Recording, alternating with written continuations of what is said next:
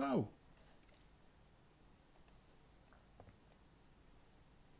Evening all.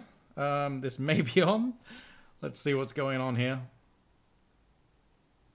Hey folks, I can see a few people in chat. Sorry I didn't do the pre-stream as usual. I completely forgot. I just uh just sorry it was 8 and then, oh shit and hit the button. Uh, hello to Infinicil, Bomb Pimp, Sorted August, who are around, and uh, hopefully few others may be able to join us. Um, audio and video is okay, thank you, sir. Um, so yeah, I'm a little. Uh, I I haven't touched Lisp in a couple of weeks now, or, or like it's been a week and a half or something. I I kind of lost track. So I when was I last streaming? I suppose the first thing I should say is apologize to um, people who only watch this on YouTube. Um, I'm sorry that you didn't get to see the last episode. Kind of, uh, it was really bad. It was a mess, and so I didn't feel good putting it up, so I didn't. Uh, it's still available on Twitch if you want to see why I didn't put it up. Um, yeah, it's there for a bit longer. It'll be gone in a couple of weeks, um, and I'm kind of okay with that. Hey, I'm Fiano. Good to see you. Um, so yes, the other week, when was that? Um, end of April kind of time. We had the game jam that same week. I had uh, my birthday and also had my last day at my previous job, which was you know pretty intense and emotional after a good few years of working with such amazing people. Um, I was leaving to go and start making games full time, so that's what I'm doing now, uh, which is awesome. Um, at the moment, it's mostly focused on back end stuff. Uh, so I've been like up to here just in AWS documentation and all this kind of stuff and Docker things and just oh just swamped getting my head into that space, which is a field I haven't worked in before.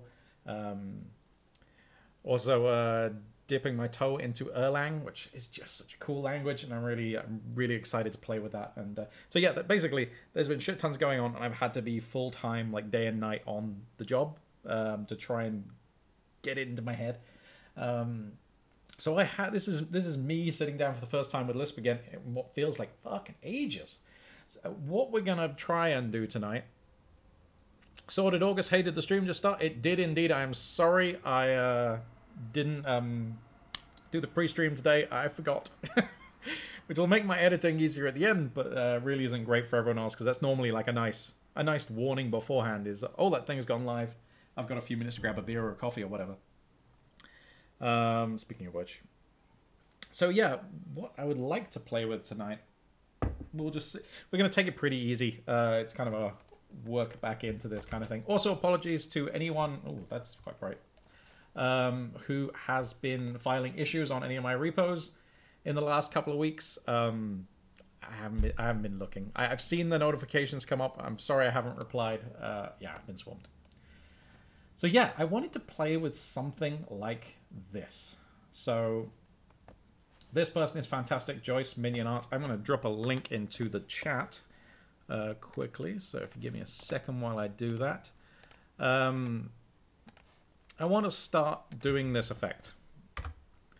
Um, because watching this in like Twitter with it all kind of compressed up is kind of annoying, I've popped out the video to here so we can have a look at it. And it's another flame effect, uh, a slightly nicer one and I just want to see if we can implement this, um, or at least part of it. And it's, we're going to have a very different looking result because this is very heavy on the bloom, um, and downsampling and all this kind of stuff. So it's going to look different. But if we can start getting this effect in shape, um, and then we'll we can either throw some bloom on it. Probably probably not today, but we'll see. Um, yeah, that's what we're going to do. So the general idea is you have some you have a noise texture here, and then you sample another noise texture, um, but you um, move the sampling, place your sampling using this uh, this noise texture. So you're distorting where you're sampling from. Um, we're not going to use textures in our case. We're just going to use noise functions. See what that's like. Um, and we also um, like uh, scroll using time. And then we just make a flat hole gradient and multiply, um, says multiply this result a few times so it's a smooth line. So I think that's um, multiplying the gradient by itself a few times. um, which would, yeah, that would, I mean, that would get us, yeah, I mean, actually it doesn't matter which order we do it in, but we'll raise this to the to some power and then multiply um, this result by this gradient, and then we'll have something. Now, all of these have a kind of rim around the edge, and there, that's this bit down here, um, which is not written in the best way. Um, also, I'm seeing a, a couple of um, interesting issues here. We have um, a noise which is clearly like there's three three three components to this noise or four components. Um, and in this line, they're taking they're doing dot A, which will be the W component. So they're taking one component from this noise, and then they're doing distort.g and distort.r. So taking one component means this is going to be a float, um, which is, I guess, what fixed is here. I'm, I'm not sure if this is Unity's um, shader language. Could well be. Um, and then they're sampling G and R from it, which is slightly interesting because they're all going to be the same. Assuming it, you can uh, get components, uh, this will be the Y and X component um, from a float, which is just going to be the float again. So a little uncertain what's going on here. There is the uh, the shader code has been uh, linked in the tweet as well. When you look there, uh, the UV distort is a fixed four, which is slightly interesting. So we're going to try just doing the float version first, um, and otherwise we'll, you know, we'll generate a few noise values and use them instead, or a couple of noise values. We're just going to wing it and see what happens. We've got some time. But the first thing we're going to need to do is I would like to map it onto a, onto a sphere or overly kind of thing. Um, so we're going to draw one of those. I'd also like to be able to test it in a square, so we're going to do that as well. So let's put this, well, we'll put it away for a minute. We'll bring it back when we need it. Um, yeah, Ponder Pim, it is cool stuff. That person is a magician. That's it's so lovely. Actually, the latest stuff where I really want to get to sometime is uh, this shader, this triplanar noise being used for water. Look at this. That's fucking great. And it's adaptive to obviously whatever the mesh is. The fact that that's all one shader is really cool. Um, I think it's all one shader. So yeah, I would love to get us playing with these at some point. Because that would just be sweet. But we also need some bloom because everything we do from here um, looks so flat in comparison because we don't have any bloom. So we'll, we'll uh, drop that in at some point as well. So let's just get started. We'll do the basics. First thing we're going to do is we're going to render a sphere over here in the normal kind of GL fashion. So let's start with that. We're going to create a global variable called verts. And we're going to have a reset function, and we are going to say unless verts is already there, then we're going to set f verts to be something else. Um, Nineveh has um, some mesh functions that we've used before.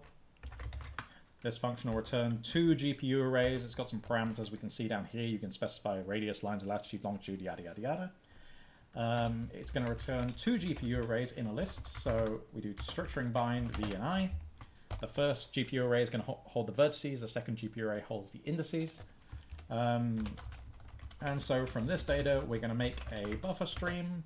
Um, I apparently have, uh, I was trying to get set up with Erlang the other day, and so now I seem to have code completion um, inline, which I don't normally use, but I'm going to try it out. Other than the horrible color scheme, it should be okay. Um, so V and index array is going to be I. So that um, should be enough for us to get to populate verts. So that's cool. So there's our um, there's our sphere. It will be in a minute. Now we need to draw it.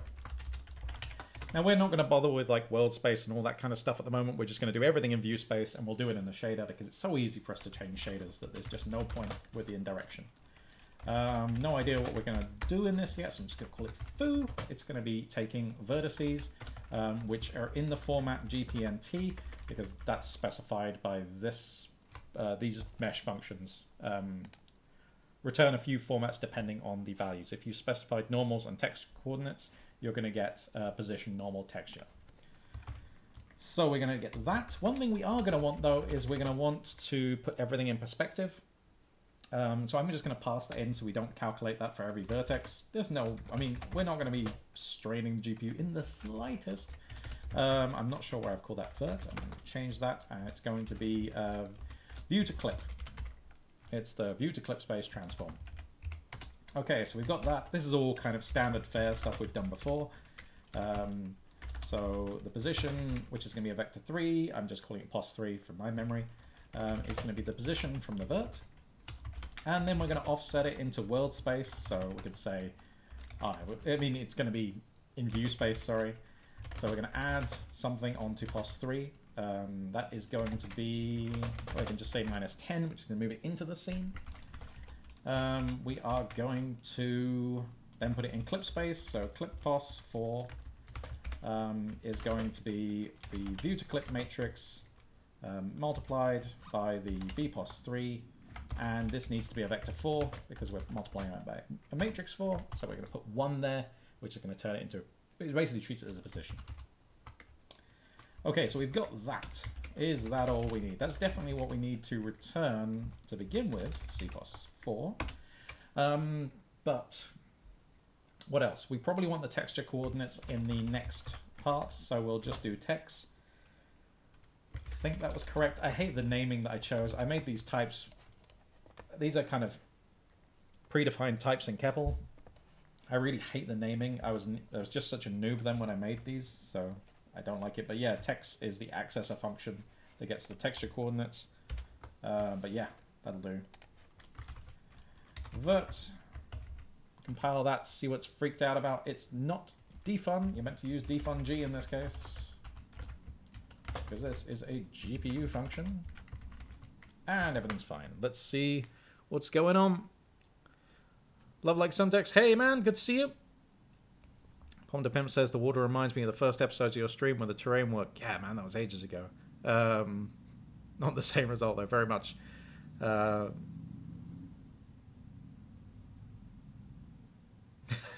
and watching this on mobile apparently. Dedication. I like it. Okay, so that's our vertex shader. Let's get a quick fragment shader going. Um, it, we're going to be taking the UV, which is going to be a vec2. Uh, that's this value. Um, and right now we're not even going to use it. We're just going to make it red. Because we've got no texture or anything like this, I'm, I'm not even sure what we're going to do with this. This is probably going to be where we shove our um, our fancy fire shader. So let's let's start with this. Is there anything else we need? Uh, no, probably not. Let's just make a pipeline, def pipeline G just going to call it foo line, and we are going to take the foo vs, which is taking a g, oh, an argument of type gpnt, and the other one is taking, yeah, vec2, and that's fragment shader. So compile this, compile this, that should be fine. Um, now we can go and render this. So we are going to do map g. Uh, we're going to map over this pipeline we're going to be using the, we're mapping the stream of vertices over this pipeline.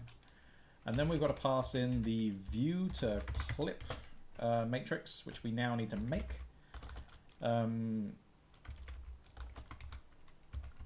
let's just make it out here, PC. In fact, hmm. Let's jiggle this around a bit. Let's do let uh, res be the resolution of the current surface current surface, you don't actually need to specify the context of the current surface, it will just be implicitly the current context. That's fine.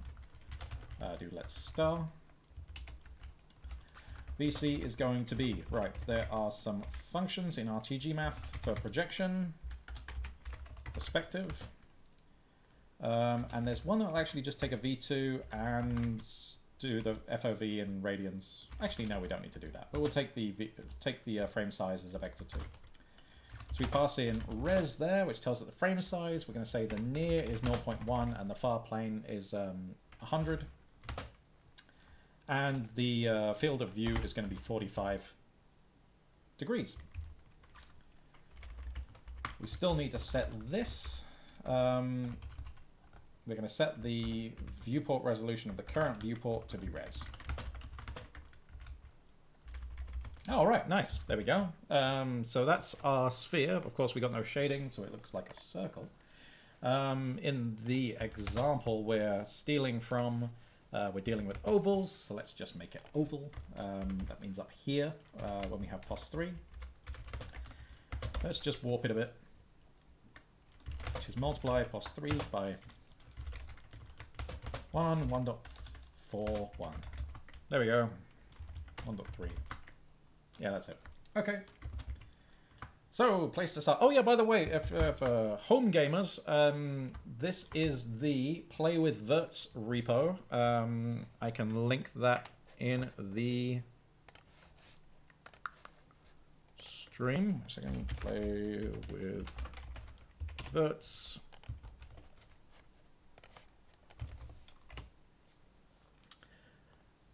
Um, Okay, Sorted August saying, I have a question about at uniform. How do you do this in Common Lisp, defining your own argument type? Or do you pass it yourself as a macro thing? It is in a macro, yes. Defun G, ooh, let me get on the right computer again. Defun G is a macro and um, we just, because we're using the same kind of format as like this, the same style of uh, God, words have just left me. Um, basically, we, we use the same kind of syntax as regular defun, so it looks very familiar. And I just, um, yeah, I just pass the arguments myself and just say, oh, at uniform, okay, these are the list of uniforms as everything after at uniform. Everything before that is the vertex, is the uh, varying inputs. Wow, man, it has been a little while since I touched this Lisp stuff. But that's cool. So, yeah, we're um, in the Play with Verts uh, repo. There's a branch called episode 41. Um, and that is pushed, hopefully. Yep, there we go. So, I also wanted to have um, a quad drawn as well. Um, so let's just do a little vertex shader for that. The vert is going to be a vec2. And the result is going to be very simple. We're going to do uh, values. This is our normal thing that we've done every single time, which is vert um, 0, 1, and we do plus uh, 0.5 times 0.5. And now I've said I've done it every time. This will probably be wrong. Oh, that's cool. And so we're going to make another little thing here, def, uh, which is quad p line is going to use uh, quad vs, which is taking a vec2, and we're going to use the reuse the same fragment shader um, as we were using before, which means that when we update this, both of these pipelines are going to get updated at the same time. So we'll be it's basically, we'll be drawing the same stuff, but it's whether we're mapping it onto a sphere or we're mapping it onto a quad. And that should be fine. Okay, so let's uh, test that the quad works as well. Um, that's going to be slightly different. We'll copy this, put it down here. We'll comment this out for a second, and just actually, this can all be one line. There's no reason for this to be. There we go. Um, and this is quad p line, and instead we are going to pass in, Nineveh has a function called get quad stream v2. I will actually put this down a new line. Invalid number of arguments 4. What don't you like? Um, but once exactly two. Really? Oh yeah, we don't have a, um, of course we don't have a perspective matrix in that, so uh, do that. Say continue. It's freaking out. It's saying that Oh yeah, we don't return two values from here. Um, so this should just be vert. Continue. There we go. That looks a little strange. Why are you looking like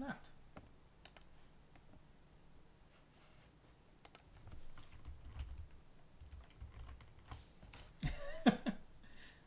Um, Vertspec 2. Plus 0.5 times 0.5 should have been... Hmm. Why do I get the feeling we get bugs everywhere? Right.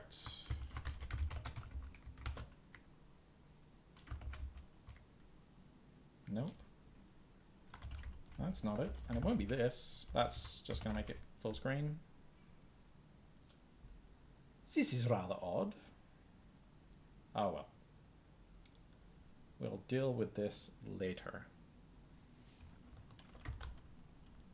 Can't have one of these streams without some weird fucking bugs turning up, so... That is good. Um, oh, it's actually probably that this is just... Um, oh, I don't know. I don't know what that is. That's rather strange. Doesn't matter.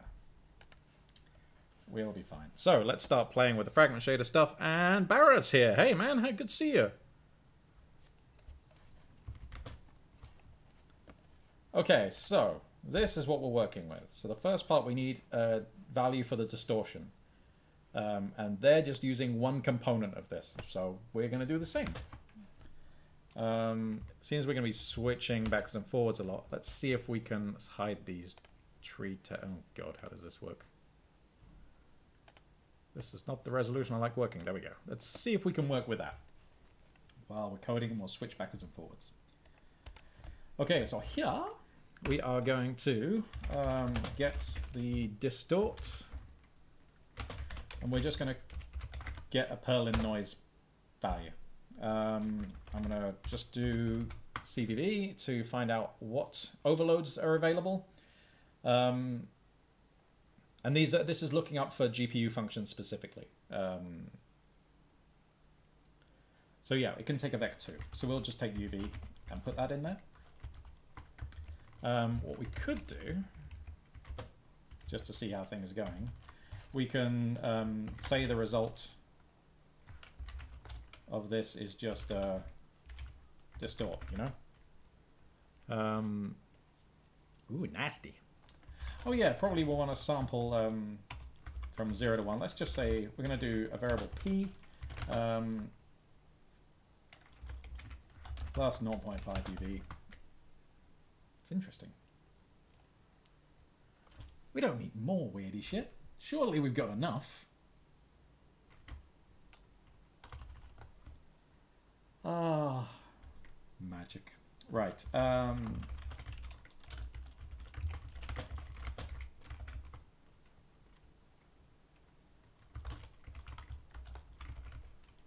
Oops.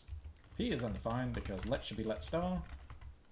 There we go. There's a horrible seam down the middle, but uh, we'll kind of have to just make do with that for now.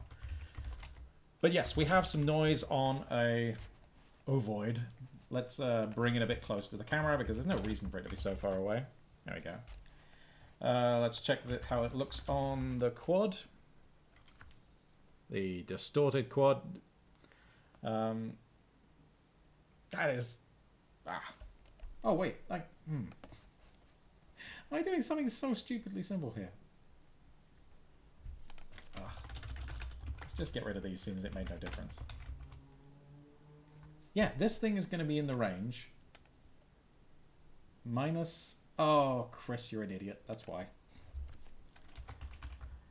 It's meant to be like this.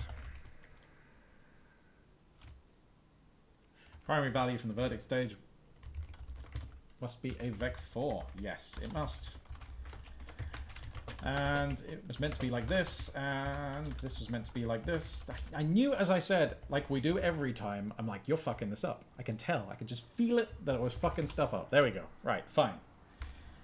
That's what I expected to see. Um, right, so let's bring back the instructions. That's our distort. Woohoo. And we don't need this. Um, we don't need to, well, we definitely don't need to offset it. That's that was not necessary. Okay, we've got some noise, and uh, this looks like it's kind of in the range uh, 0 to 1, so let's bias... Whoops. Let's bias it over here. Uh, let's bias this distort. Actually, no, because we're going to use this to change sampling, so it doesn't really matter. It's just make it, it just make it nice to look at. So that no, we don't need to do that. And then we're going to sample into another noise texture, so we can just do this again. Um, but this time we're going to offset it a bit. We are going to, again, we're not doing noise textures, we're doing noise functions. Um, but we're going to do vector, take x of p, and we're going to add it to, um, what do they do? They just subtract. You can add, subtract, really doesn't matter. Um, from the distort. Sure. X of distort.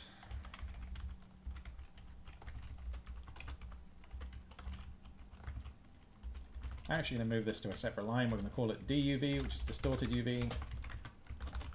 And we'll do DUV. Ooh.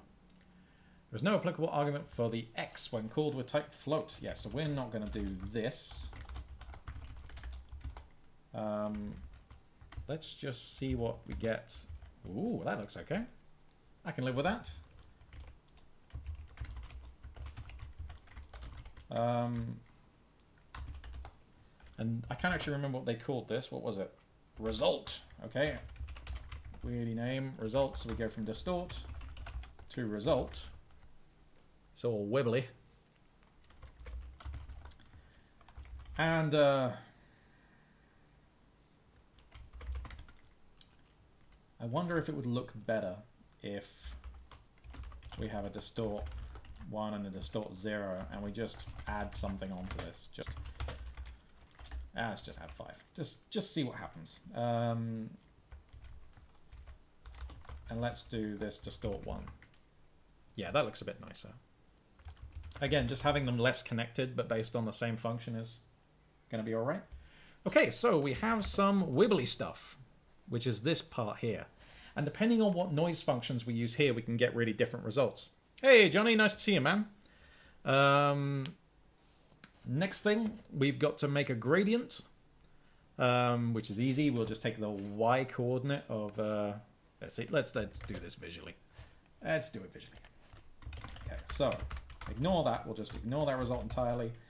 And we are going to say, we'll do. Because eyes are really easily fucked up by color, I'm just going to do this as a vec4. Um, and we'll do the y of the UV. Right, so that's a gradient. Um, and seeing as we want it to go from bright to dark, we'll just flip this. So we'll do, um, whoops.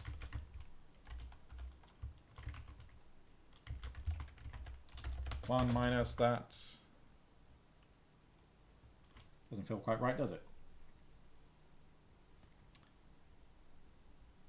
This makes me question our UV values, but...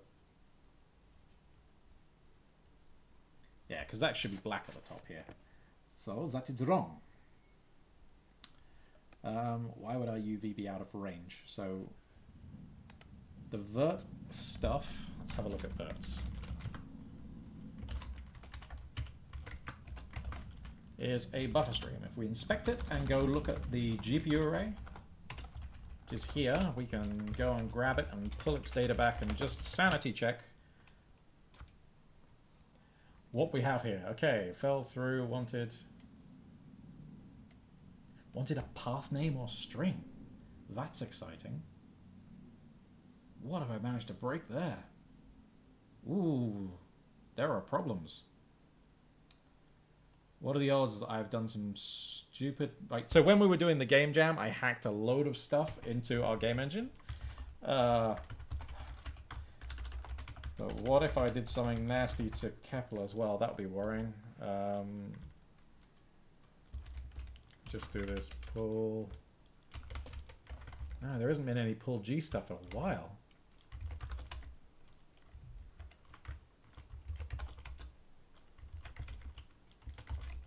This is confusing. GPU array, pull G on the GPU array. Should be fine. Okay. It freaks out when it's on a C array. What the fuck? Something has overridden that method. It must have, because, I mean, why is...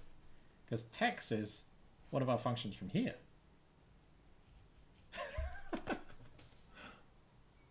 what is this? Oh no, okay, this is going to be, when we're pulling it, it's trying to... Oh, right. Okay, yeah, we've overridden one of the methods from CEPL. That's our fault. Whoopsie-doo. Um, that's really interesting. I hadn't thought of that before. That's, um, and I know what it is. So basically, what has happened is we have a helper function in here somewhere. Uh, not now. Um, where are you? Assets. Called text. And it has replaced um, a rather important function from elsewhere. So this guy um, should be load text or something, or get text. Always read the warnings, kids, you're probably overriding something. Let's just jump back to... That's going to have been defined by the data type, GPNT. So if we just do this, continue. okay. Um, now if we do pull G, now we have a load of data. Interesting.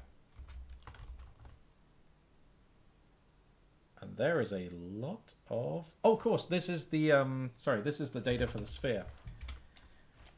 And I was interested in the data for the quad. So it's the quad stream. Oh well, still enlightening. Um, I'm going to have to remember not to do that in other projects. I'm pretty sure I have a few times. Let's pull the GPU array. Let's make the font actually readable for you guys again. And... Um, yeah, so it's going from minus 1 to 1. That was all I was trying to check. Um, these values are going from minus 1 to 1. So, when we have our vertex shader for the quad, we add 0.5. Ah, no, that's why. I've done these backwards. So if I had multiplied by normal 0.5 and then added 0.5, this would have been correct. There we go. There's our... There's the darkness back again. Uh, because what we're trying to do is remap it into the range 0 to 1. So dividing by 0.5 will make it minus 0.5 to 0.5, and then um, adding 0.5 will make it from 0 to 1. Fool of a took. It's what you get from doing other projects. Um, okay, so in the instructions way back, uh, when it says make a gradient and add it to the result, blah, blah, blah, multiply this result a few times so it's smooth. Um, so I think what we'll do is we'll raise the gradient to some power. Um, let's do this. So this is our gradient. So we do expt to the power of 4. See, that shifts everything. Um, we could probably plot that curve if we wanted to see uh, what we've actually done. That might be quite interesting. Let's see. I haven't used the graphing functions in Nineveh for ages. Um, was it just graph? It could be. Let's have a look. Yes, graph takes a function and some UVs. Let's see what we get if we do that. Um, make a lambda, which takes a um, xy, which is a vec2, and we, whoops, um, are going to do, well, we're going to do this. And then we pass in uh, UV. And it freaks out. It's saying it's a closure, which is true. Um, yeah, like we don't want to use UV in this case. We want to use XY. Um, and it's still not liking it. What, what doesn't it like? There is no applicable method for graph when called with a function that takes a vec2 and returns a float and a vec2. What does it want then? Um, I'm obviously being some kind of fool. Let's get rid of these old errors. Okay. It takes a function that takes a float and returns a float. Oh yeah, okay, fine. So um,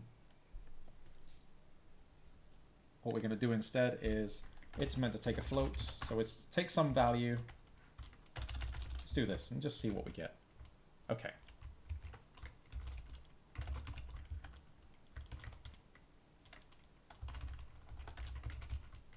Nice. Okay, so what we did originally was we had 1 minus y, which gives us this.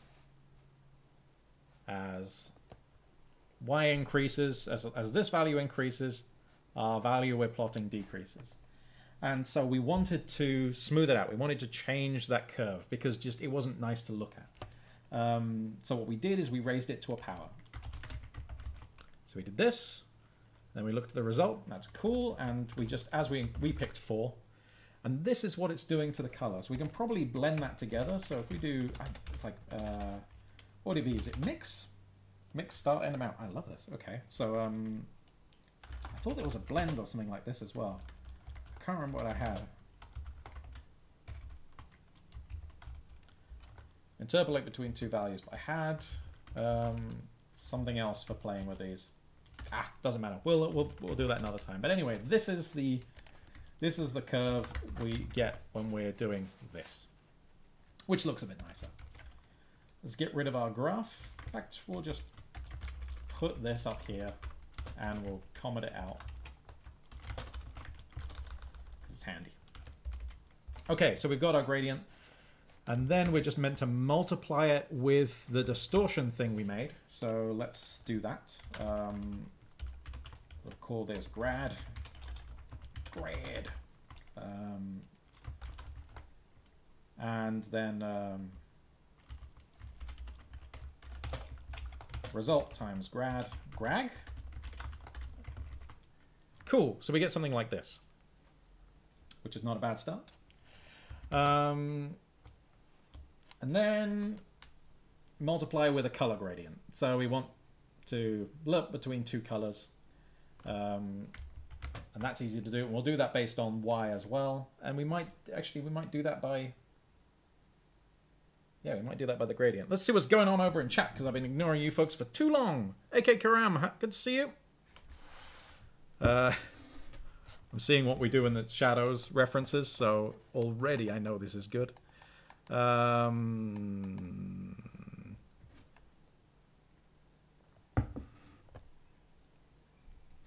it's really nice to when you're up all night, Barrett. It's great to see you. Um, trying to get SBCL OSX working properly was trap. Hey man, did you make any progress on? Like, wait a second. What issue are you having? Because it might have been one I've seen, or a lot of us have seen. Um, Can you paste that fire shader link? I did earlier, but I can definitely paste it again. One second. This is the wonderful work of Joyce. Um, what have I done? Yes, of Minions Art. Let's have a look. Pasted. Um,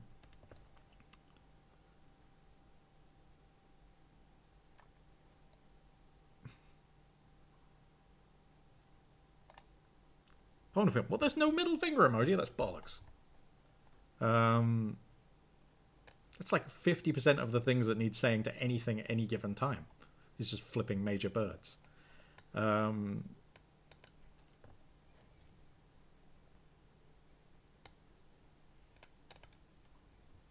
Grug. yes, Grug. It's uh it's a budget alternative to Grog from the uh, Monkey Island universe. Right, let's see.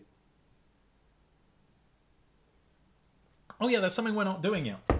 We're not animating. That's bullshit. Let's do that now. Um, let's pass in a uniform.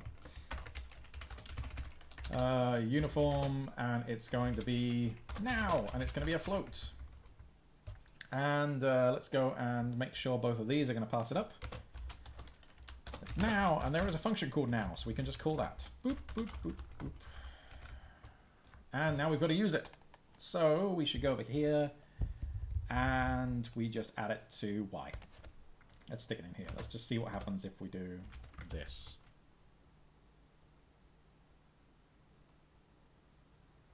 Now that's not scrolling the source texture though. I think we actually want to go up here and do...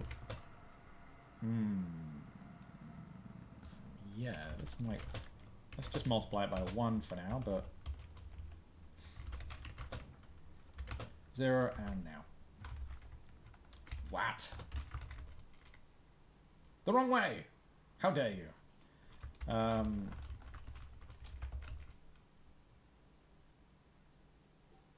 Is that what we wanted? Hmm. No, probably not. We probably want to take this. Let's go fiddle with this some more. We probably only want to do that on the texture. Oh, wait a second. Blech. Let's have a look where they did it. They added time in when they were calculating result, which was they use it to modify where they were sampling. So in DUV basically. So yeah, shoving it in distort one. Really?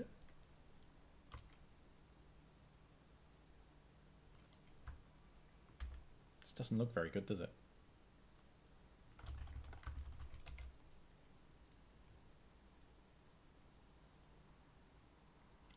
Not sure about that.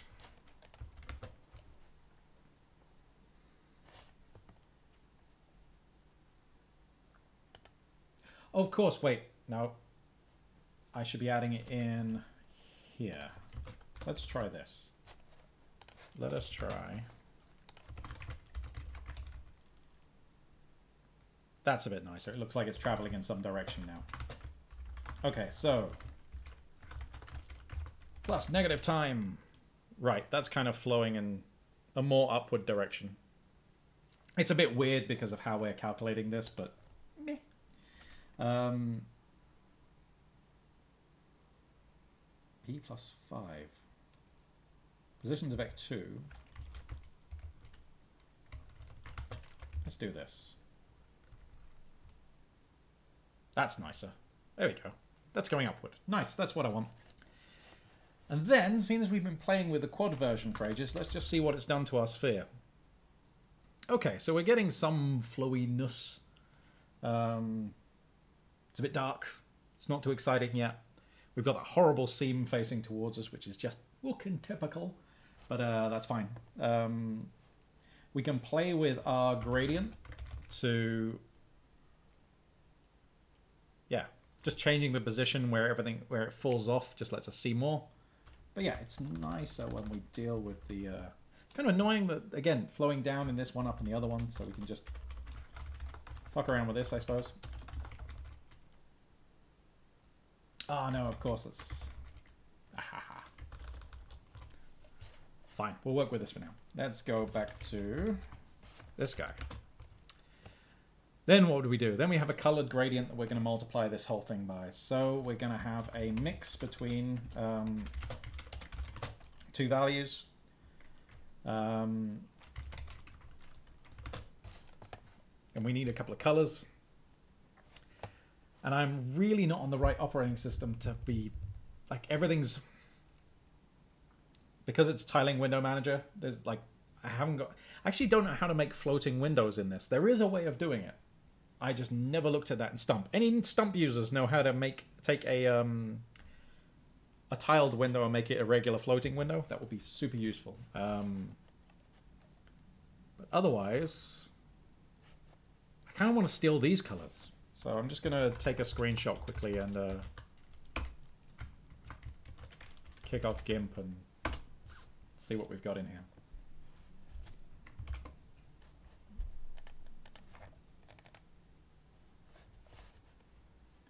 The laziest ways. if you don't have taste, steal someone else's. Alright, so roughly this color. What is this color? And you know it's just looking good because of the bloom. Uh, 9243255. Oh, I'll save me copying. Um,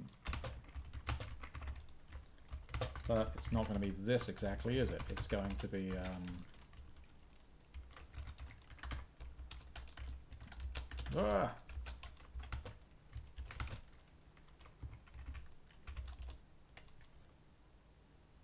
Interesting.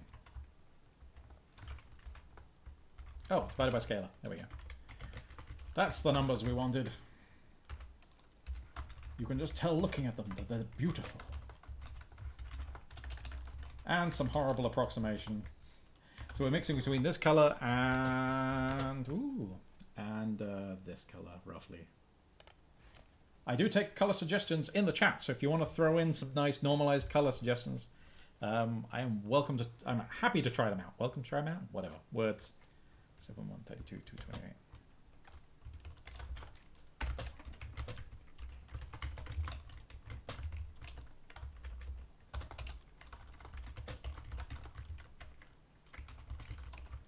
Put your favorite colors here.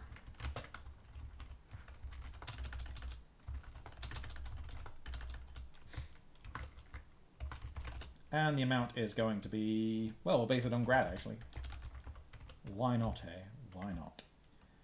Um,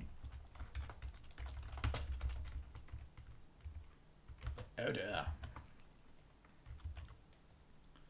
Okay, there was no applicable method from the GLSL function, which is off screen. Oh no, I just moved the wrong thing. How dare you? Vec4 when called with Vec3.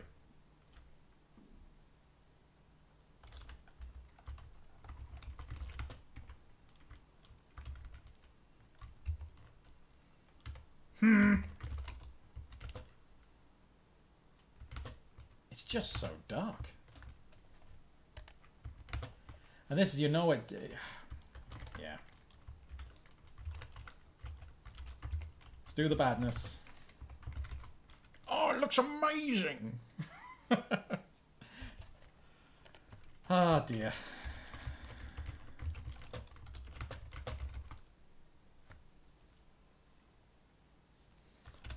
Actually, if we're going to modify time, let's do it down here. Make a variable now, which is now times something.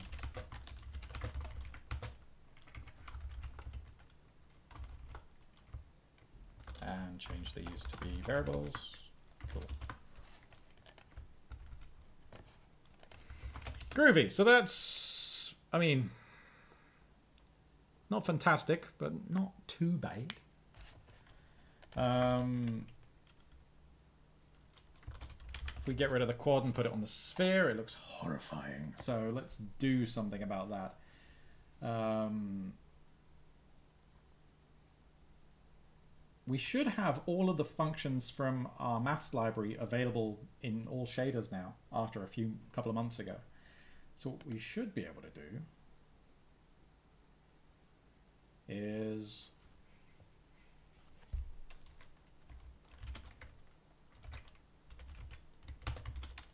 we do it M4 or M3 rotation around the x-axis of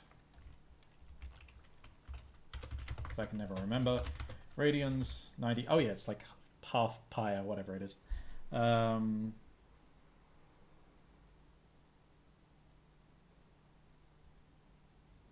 yeah 90 degrees as radians. No, 90? 180.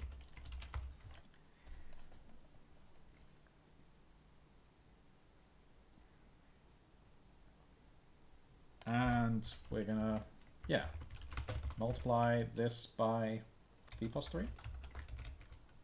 It's gone! Uh, it's because we've offset it before we um, we rotate it. So now we've rotated it 180 degrees, which now means it's behind us. That is not so smart.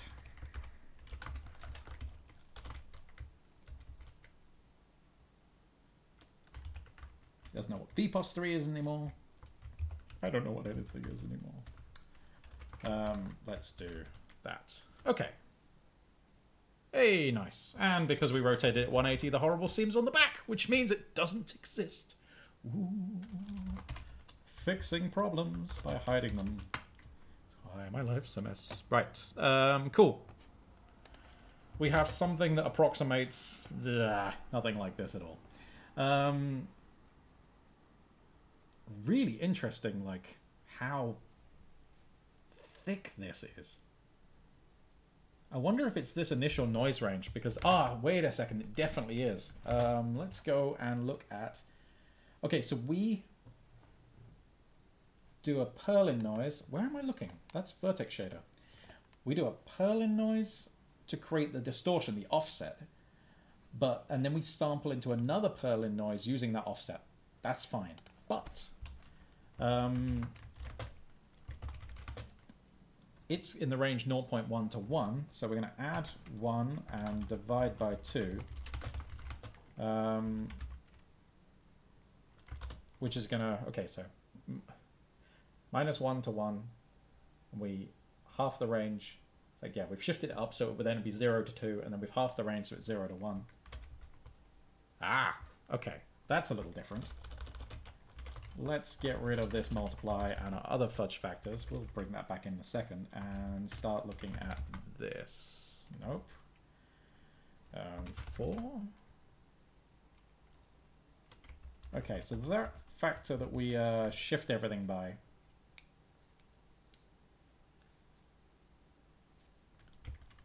That really has quite a large influence on... So let's, yeah, let's do this up again because it's nice when it's brighter.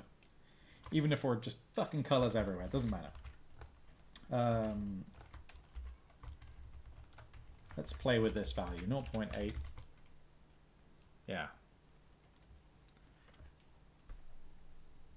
So we're taking the sampling value and we are... Ah, no, so let's... Trying to think of what these values going be. So minus 1 to 1.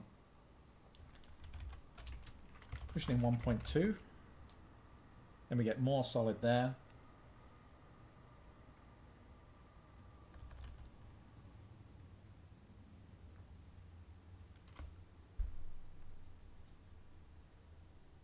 That's interesting.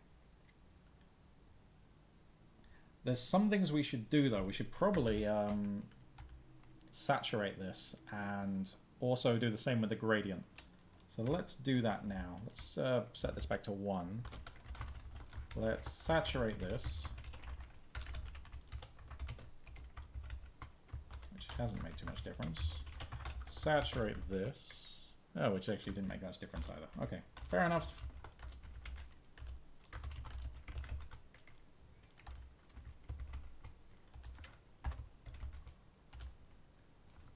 Kind of cool, though. That's fun.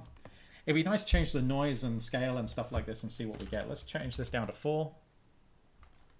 Change it up to 20.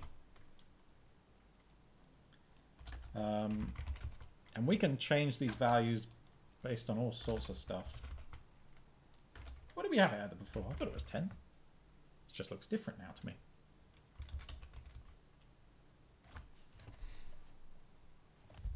I'm going to undo this. I want to know where I was.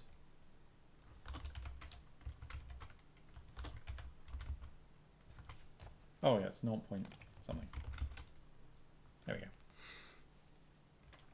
Actually, probably looks slightly better on the stream because uh, the compression is cutting out the blacks a bit. But what's going on over in chat?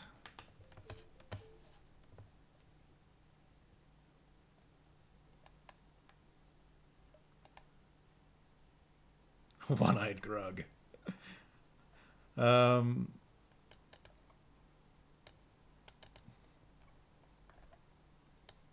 Yeah, pi is 180. Um, I broke something? What?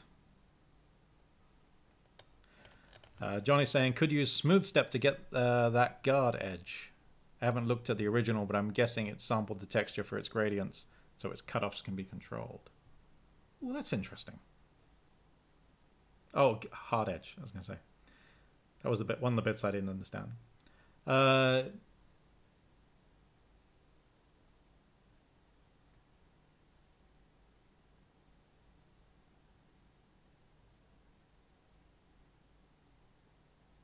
do a smooth step to get that hard edge. So, like, wouldn't that be the same as just taking from Y? MIDI? Because that would make it... Smooth step's going to be a... No, wait. Oh, no, no, no. You're right. I'm forgetting what's what. I should just plot smooth step so I can remind myself what it looks like. Smooth step. Let's bring this back. That's not what I expected at all. Um,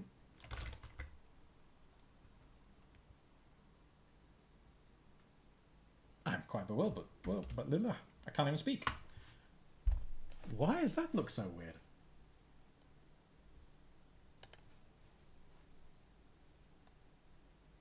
We haven't fucked with UV. UV's coming in as it was.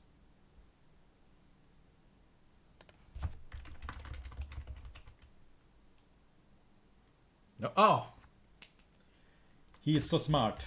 Right. We're we've got a graph that we're trying to map onto a sphere. That is going to be an issue. Okay, so there's our function from before. Um, so x looks like that. Smooth step um, takes, let's get the docs. Oh, I love having documentation.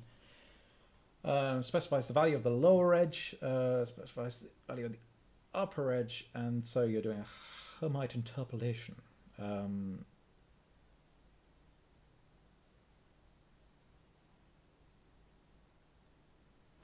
so we would do x between, let's just do 0 and, 0 and 1. What does that do? Okay. And if we change these to be 0.3, gotcha. Yeah, okay. Yeah, actually, this would be, uh, this definitely could be a way of controlling that, can we?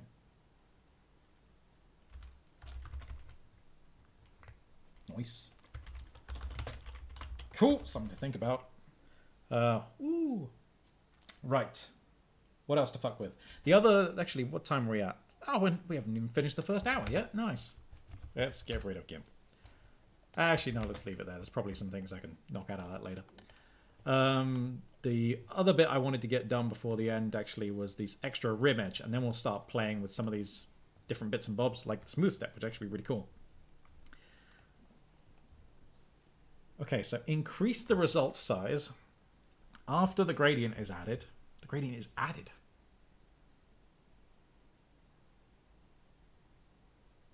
Oh, they... Mm, interesting. Let's see. So there... Mm. Oh, that's kind of odd. So this actually, this is something I haven't paid paid attention to before. I was combining the gradient using a multiply because that made sense to me. But it sounds like they're just adding it to the result and then multiplying this result a few times. Okay, we are we are going to check out the code. One second. Let's bring this over here. Because this sounds weird. Right. Where's gradient? It's so bright. Make it stop. Right. Um, man, I love Quake 2.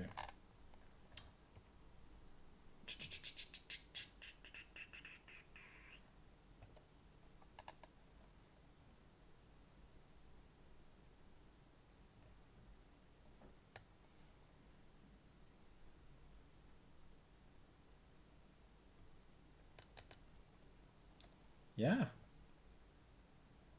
They get the noise. They... Oh, they're using a shape mask. Oh, so they're not even mapping it onto an object by the sound of it. That's surprising. Um, they're adding the... Okay, so, so they're lerping between a couple of values. Right. This is interesting. Okay, so they, they lerp between 2 and 0. They add that to the... Um, they add that to the noise. And then... Oh, this is some other shape thing that I haven't seen yet. Then there... Did they do anything else to that gradient blend up here? Not at all. It's just a straight up lerp. This is... Sorry, I'm, I, I know I'm going over the same stuff again and again. I'm just slightly just slightly surprised. Um,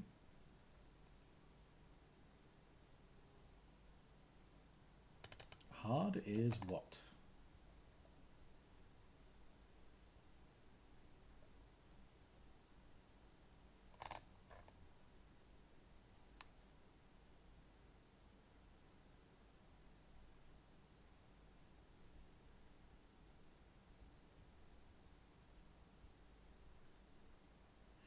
What I'm what I'm surprised about, what I'm trying to look for here is the bit where it says, "Ooh, that looks weird inverted." where it says multiply this result a few times so it's a smooth line. So something to do with the gradient and the result, they're multiplying a few times. Let's just try and find that. If I could find that, it would make a lot more sense. This is not it. That's the rim. That's the color.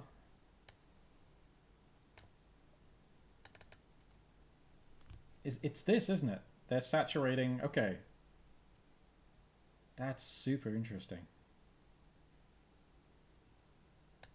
Hard, wherever hard is. I guess hard is a parameter they're passing in. Yeah. I guess that's... I, I'm, I'm assuming this stuff is uniform data. Not so used to... Uh, here we go, hard. Hard cutoff. Rage 0, 1 to 40. And it defaults at 30. How about that? This is really interesting. So let's say it was 30.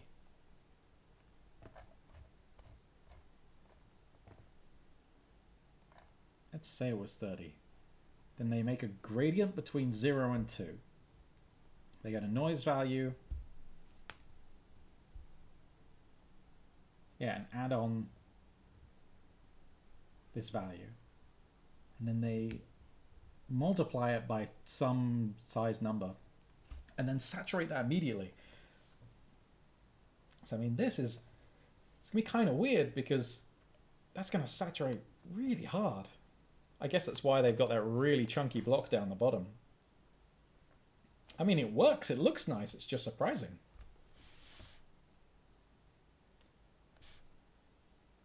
Huh. To each their own, I guess. Yeah, the saturate thing is to create that hard edge. Yeah, that makes sense. I mean, because everything's going to get... Because it's the...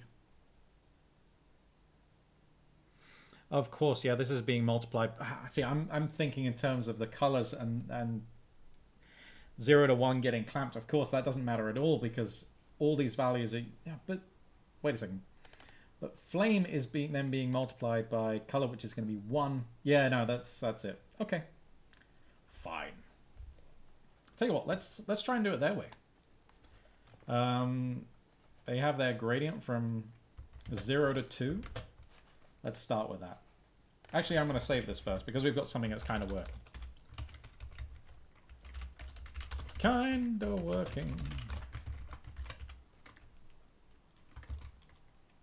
Is it gone? Nope. Now it's gone. Nice. Um,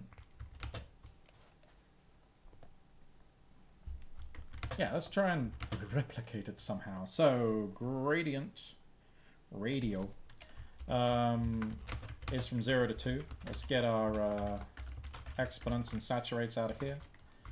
Um, whoa. Um, we get the noise and we add it to the noise instead of uh, multiplying it. So we take the result and we don't mix this by grad at all. Wait a second, call, okay. So, um, so result, it's going to be uh, result, not times. I keep going for times, plus grad. Um, and then they multiply that pretty hard by uh, by hard. So they were starting with 30, so let's do hard is 30.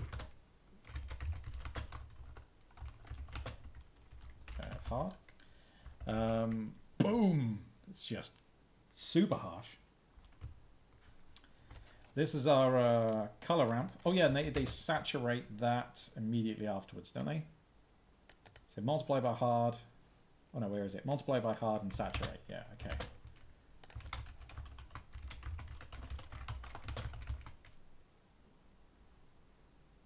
Surprising. Um,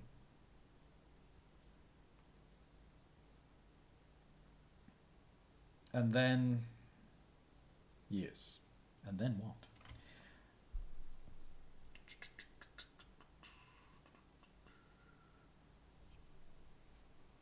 Now we probably don't need to remap our distortion here. Because it doesn't matter what range it's in so much.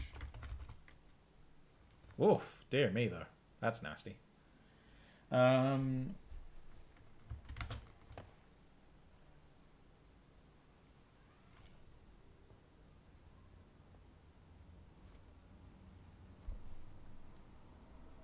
what am I missing? Do, do, do. I mean, this kind of makes sense to me. Like, and everything's getting saturated the fuck out. Um,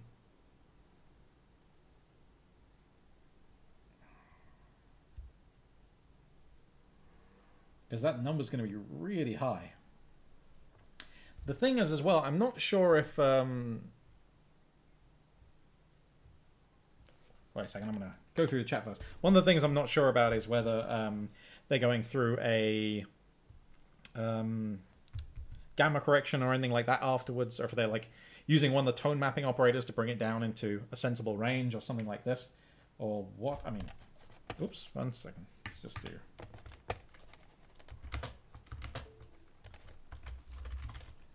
Um, oh, not grad. Wait a second. We're doing result. Oh no, then we, yeah, we've done that.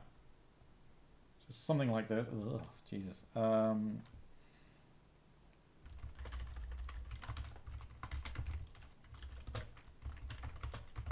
might still want to ramp it. Oh, Jesus. What? Oh, yeah. Fool of a Took. Oh, no, that's awful. Um, could saturate that, I suppose. Yeah, we're just moving that line now, but we've killed everything else. Um, never mind. Never mind that. It's just getting worse. Um,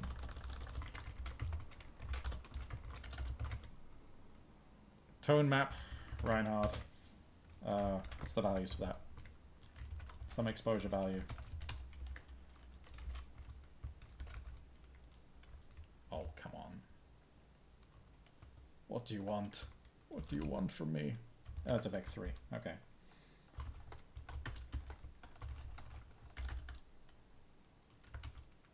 Oh, yeah. Ah, fool of a Took. We've still got our multiply by 4 in there. One second. Before we go shoving other shit in here, we really should take off the thing that's definitely blowing it all out. Um, and then do tone map Reinhard.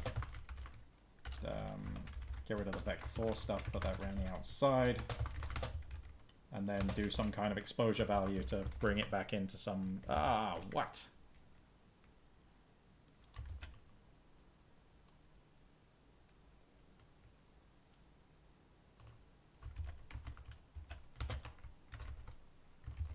Oh, that's a very disappointing result. Oh, wait, yeah, if we're doing that, then... Never mind. oh, wait, yeah. Now it's going to be zero.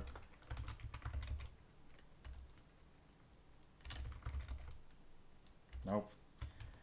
Forget that plan. it was not that. Um...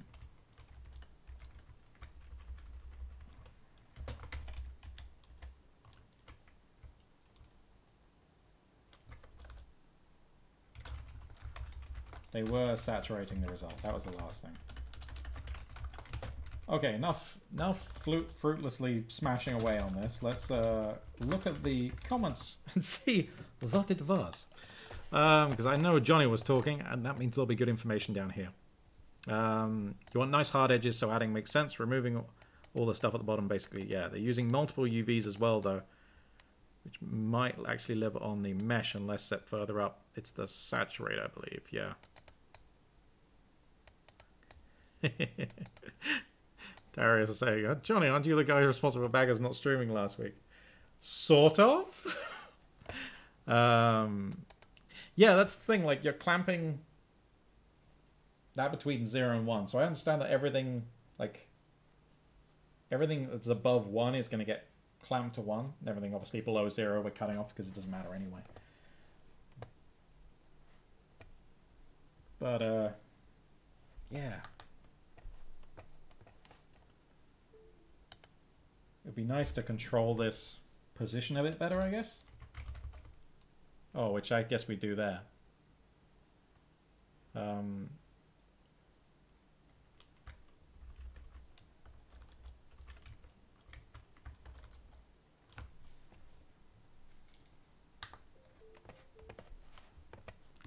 So saturate is uh, for creating the shape and then they bring the color back in. Used to do this a lot and, until I started using small, smooth step for more control. Because uh, you end up with a lot of random numbers otherwise. Yes, that's what I'm seeing so far. Lava lamp. Um, it's, yeah, it's just, it was actually more pleasing before when it was softer. Everything being pushed up so high in that range, just um, like so much of it gets clamped out. Maybe it looks better on the, the uh, sphere though, who knows? Um, not that one, this one. Not really. um,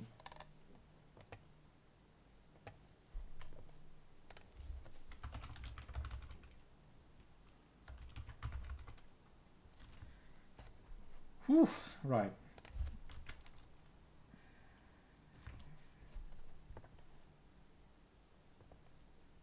I'm just just interested when I'm looking at the numbers. I'm surprised how um,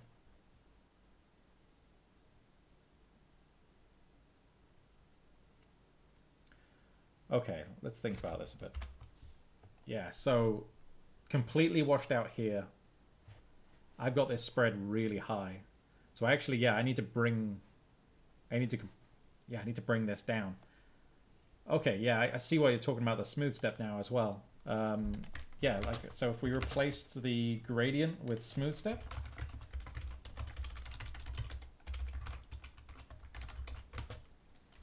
And do like 0 to 1 by, um, and then we use um, the y of uv. Yeah, obviously it'll have to be um, 1 minus y of uv. And then we can do stuff, I guess, like 0.6. Oh no, not that way. The other way. Huh. Um,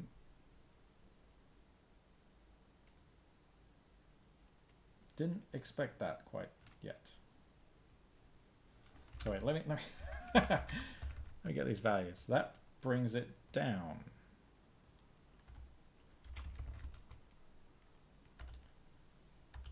Um, I'm imagining this curve backwards, aren't I? Maybe I should be doing 1 minus this whole thing.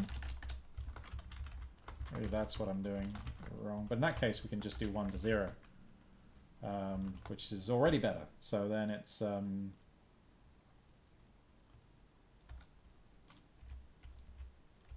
And then we can do 1 to minus 1, I suppose. And yeah, control more where that line is. Um, I'm a little, little actually confused by what values are coming out of this right now. So I'm just going to do vec4 on grad. What the fuck? That looks like a bug.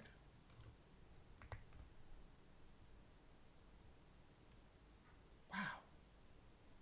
I'm actually really surprised by that.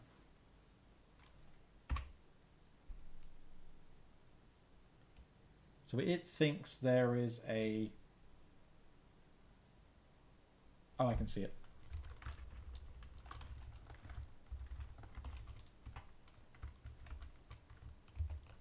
Okay. Get rid of these.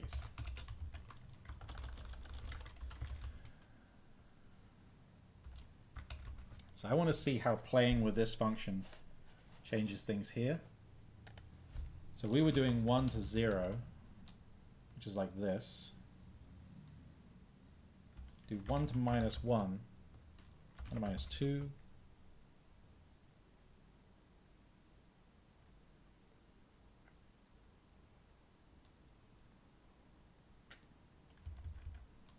Wait, no, I'm doing this wrong, aren't I? Yeah, okay, oh, ah, fuck of course, smooth step, the first value is the position. And the other values, am I doing... No. No, they're not. Look at the docs again. Right, so edge 0, edge 1, and x.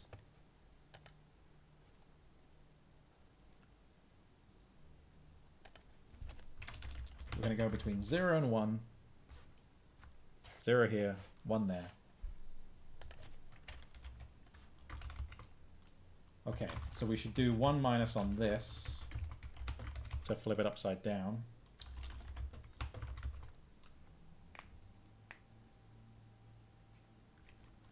Okay.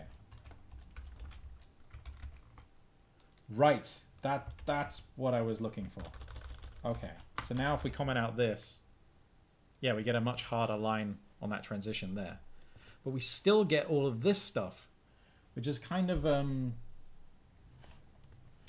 kind of disappointing. That's why I was surprised about the gradient not being um being added rather than multiplied because of like it allows you to control where the thing will end a bit better in my head. Um, I'd love, actually, I'd love to hear your input on that. Like, I need to look at, um,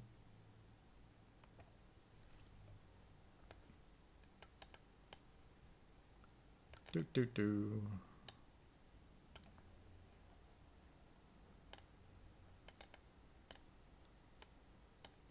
Johnny Roo was think I was thinking instead of the saturate.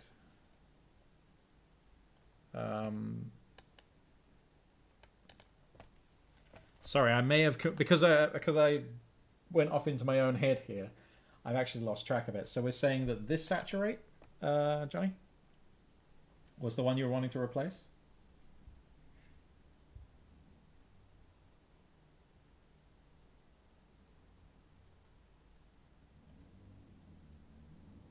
Oh, so you were thinking of maybe of keeping the gradient as it was, but using the smooth step here.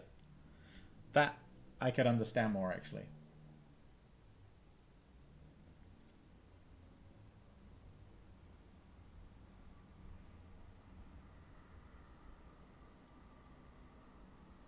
I guess we could just do a um,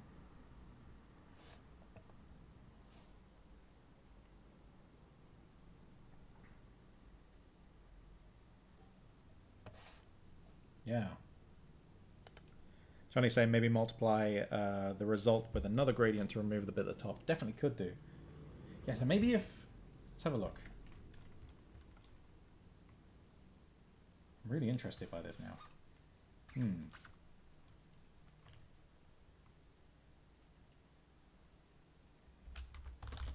Yeah, so rather than doing the saturate, we could do this. Oh. that wasn't quite what I meant, but... Um, oh, actually, I'm, I'm going to need to... If I'm doing this, I'm going to have to visualize this as well, because this is going to get messy. So, what I generally want is I want this bit to be like to be full color here and then transition into the flames. So if we look at grad again, um, I guess I want to bring this down. Yeah, and keep that transition a little softer. Because then if we did them, like, then if, ah, I really need to play with this and see. Then if this was a multiply, ah, but it's so hard. Is that something that's just controllable now? That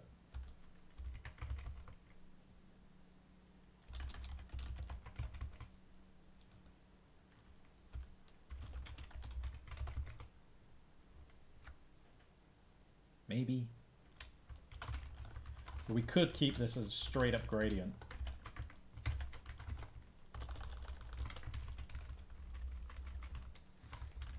Um, and use that as the input to some other stuff. But their gradient, of course, was um, 0 to 2, so let's put that back in.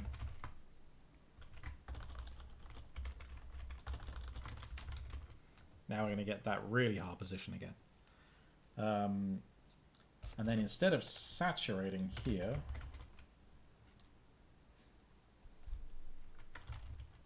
thinking maybe we use a smooth step.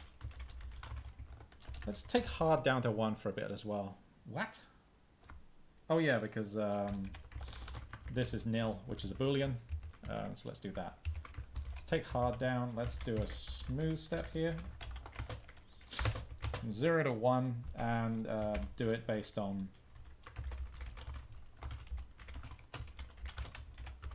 MY.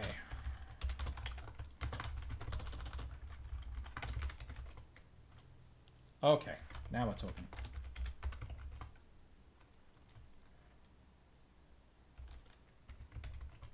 Huh, actually wasn't the result I expected.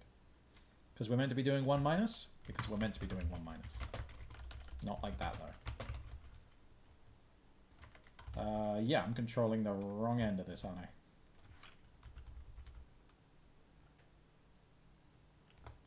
I?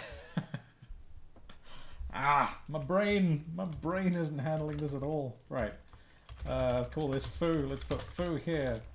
And let's go and visualize foo so I can see what's going on. Okay. I want to do the complete opposite of this.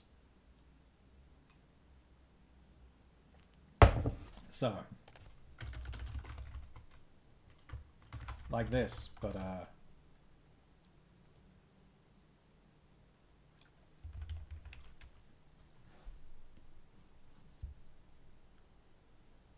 Of course, this is... Oh, right. We can actually... Don't need to use envoy here. We can use YUV. And then... We go from 1 to 0. Okay. Bringing this back. Is that the way I want to think about it? Because I want to go from 1 down here, 1, sorry, down here, to 0 around here. And again, I'm putting the, I'm doing this value wrong. What the hell? Yeah, the, oh, I get myself so confused. Right, edge 0, edge 1, and amount. This is the amount. These are the two edges.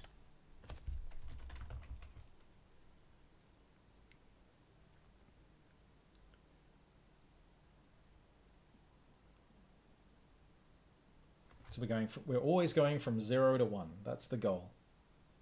So this is just one of those things from like live stream brain fart kind of thing. Yeah, something like that. Yeah. Something like that, but a bit more controllable, I guess. Um,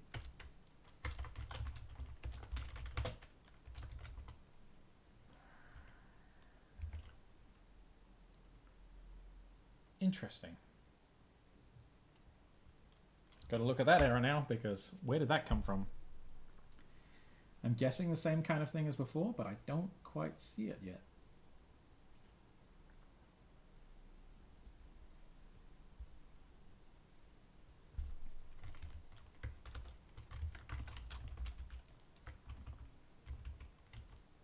This might be a bug somewhere else. Let's have a look. If I just go further back in this call stack and see what's being compiled. Um,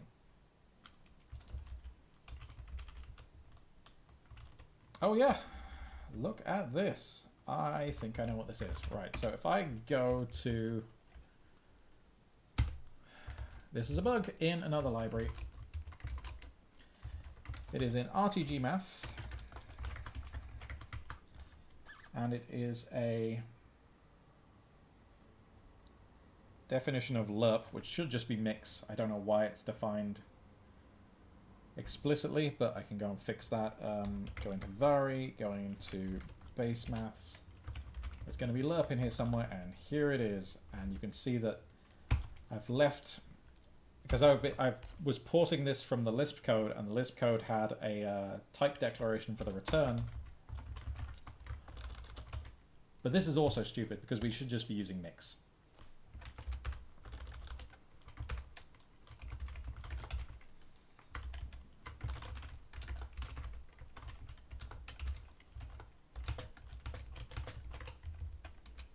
Something like this. Float, float, float, returning float. I think that's right. Just make sure that um,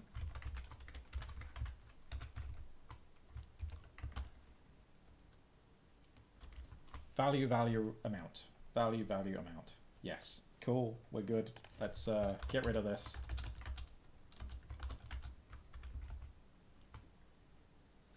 Didn't like it though.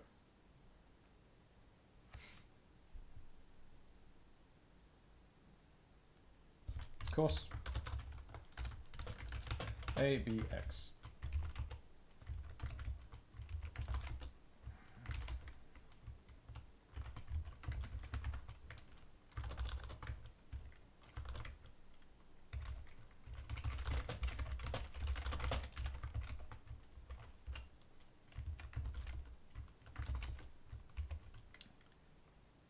Uh, that makes sense. Recently updated code and stuff.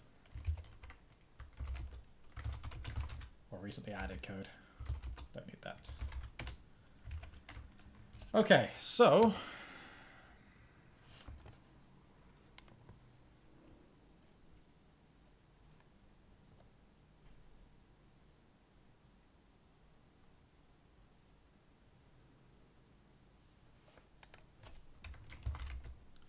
have some stuff that's working. The cutoff is so hard here that I'm not super happy with that. I would like to take result and maybe modify that a little. That was a bit more extreme than I expected. Um, wait a second, really?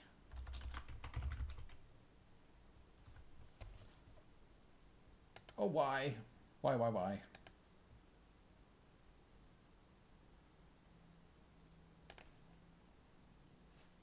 Wait, wait, wait, wait, wait. I've just confused myself again. Because it is it because this was smooth step before? Yes.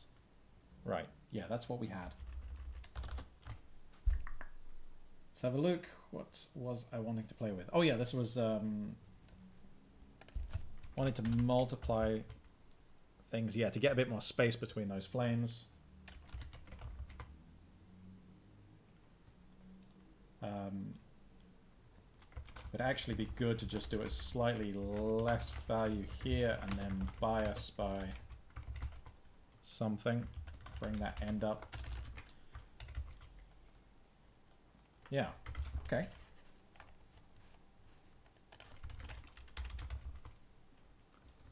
It's a bit shitty that's just wrapped around the bottom there, so let's go and play with our smooth step and move this up to something like minus 0.9, 0.5, 0.7.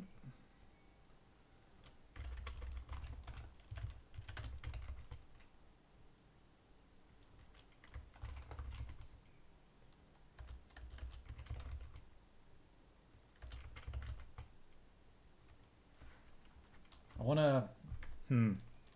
What I could do actually is uh, do this by two and by one.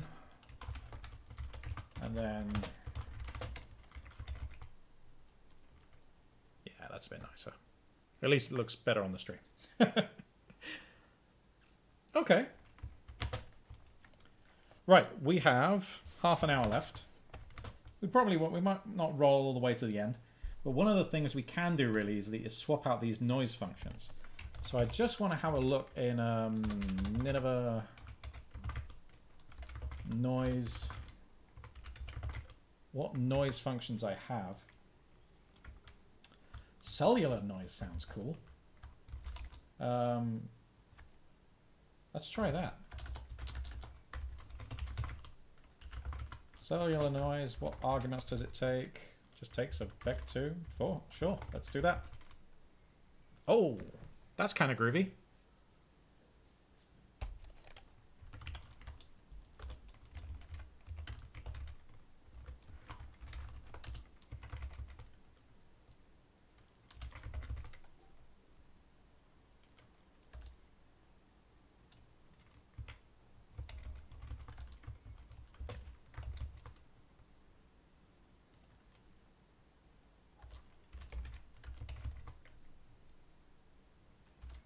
Actually, this makes a better result than multiply does a lot of the time. Just in play zone now.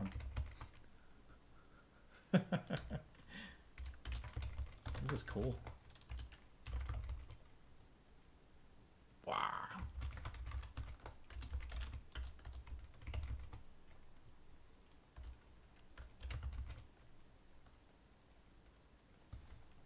That's pretty cool. I don't know what I'm up to now, but yeah, uh, that works. what other? I had, I had some other stupid noises in there. I'm pretty sure. Let's go get that list again. Um, actually, let's just go and look at the package. Uh, Nineveh package noise. Okay, so what does it export? There's Perlin noise, Cubist noise, cellular noise, polka dot noise. Gotta try that. That's polka dot noise. No, doesn't take just a vec2. What does it take? Takes a vec2 and a radius low and high for our polka dots. Awesome. Uh, 0.1 and 0.3. Ooh. 0.5. Let's try bigger starting size and...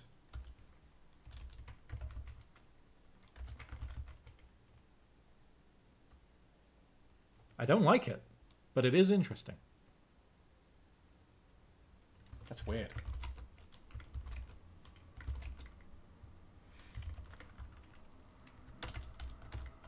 Let's try stars noise.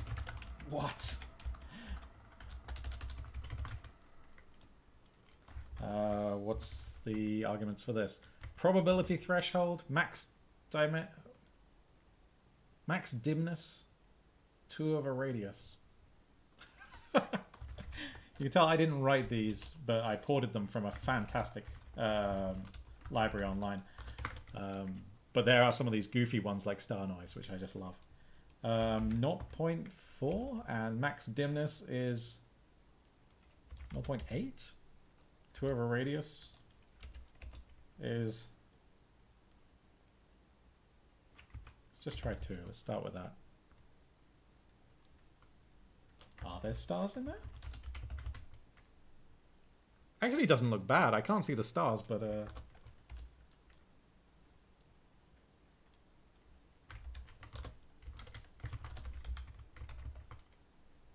Ugh. That's not so nice. Is that really the stars noise? How strange. Oh, it's probably because I'm sampling it in a really weird way. Yeah, because we're sampling with a displaced texture as well, so we're getting all kind of weird results. We should actually try these ones, use the weird functions on the distort, and see what kind of results we get there. Um,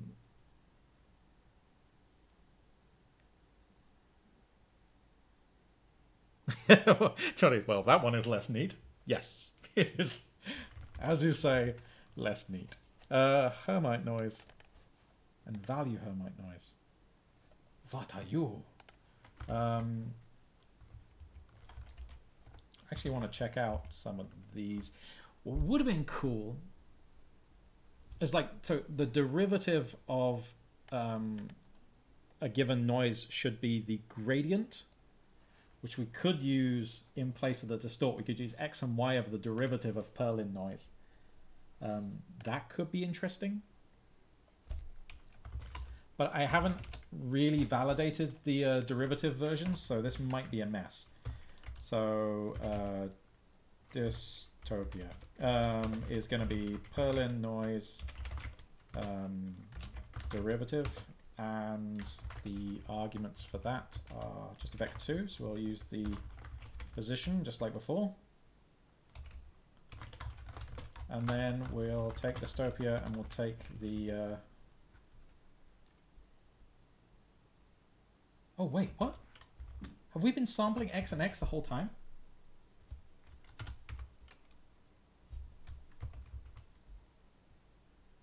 well that's stupid I want to see what our Perlin noise looks like again now. Oh, god damn it. Um, take this and just wind it back for a bit. This might screw up the parens. This is one of the times where you just have to hope.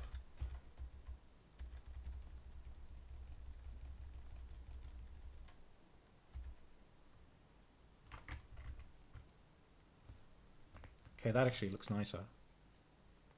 God damn it. All right, so if we take x of instead of distort and distort 1, we do x of the drip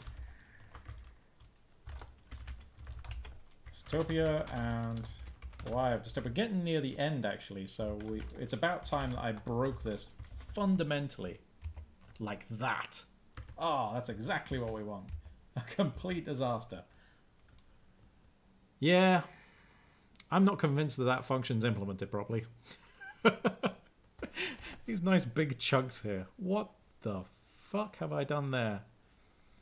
I, I'm willing to bet that I've screwed up something with the um, uh, how I'm using the results from the hashing, the integer hashing function that feeds the rest of the noise. So anyway, that doesn't matter. Um, let's get rid of that and pretend it didn't happen. As is our want. And we'll go back to distort and distort 1. Oh, everything's fine. Who knew? Um, and so yeah, I wanted to mess with these guys. I should, um, let's do a, let's make another function that we use for the distort. defun-g uh, dist noise, and it's going to take a position that's a, let's say, vec2.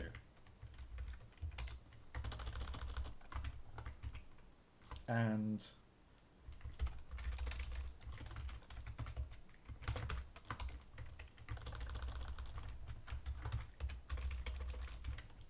Oh, wait. Is that what I want to do? No. And now it's just Perlin noise. Of POS.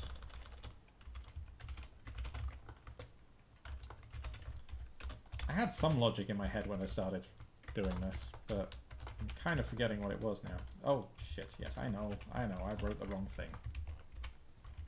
Um, And we can just change this function to affect this stuff. Oh yeah, it was just so I didn't have to change it in two places each time. That's what I was what I was thinking. So now if we use some other function for the distortion, then um, we could get some interesting results. So let's go and try the cellular noise again, seeing as that gave such interesting results. We'll change, well, we can do cellular noise against cellular noise. That would be kind of interesting. That feels more like water all of a sudden. Um, let's, I guess because these things are lining up quite a bit too much. So let's take this to Perlin noise. Ah, now you see the cellular artifacts a lot more. Because we're not doing heavy distortion on the... Um, yeah, we're not distorting the index into the cellular noise. So we get something like this. And I bet now if we go for uh, whatever it was, fucking stars noise, um, 0.4 max dimness is 0.8 and 2 over radius is 0.5. That again. Stars doesn't look great. I'm expecting. bet there's a bug in there somewhere too. There's that polka dot noise didn't look entirely fucking insane if I remember. Well, I mean it didn't look good, but radius low is 0.1, radius high is 0.8, um, and that should be a lot. There we go. Looks horrible though. of course, that's yeah, we're scrolling the polka dot noise and not the um, Perlin noise. Let's actually look at that. This is the source noise. This is the distort noise. Actually, they're using a constant distort.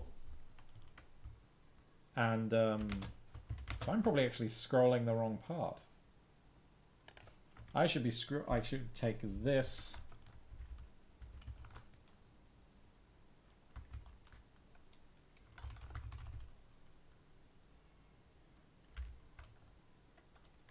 You can feel it coming. You can just feel that I'm about to start breaking stuff quite majorly. Um,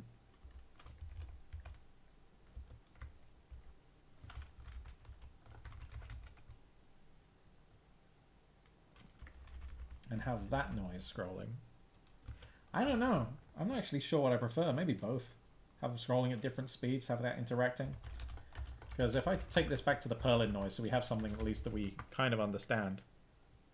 Yeah, you know, it's alright actually.